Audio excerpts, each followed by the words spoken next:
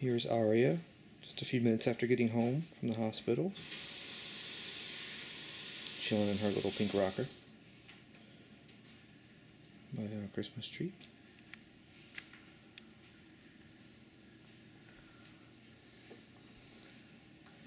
There's Picket.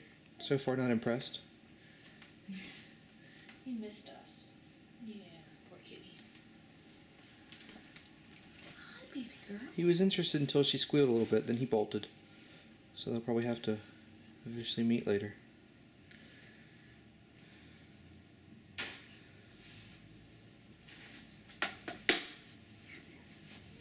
Welcome home.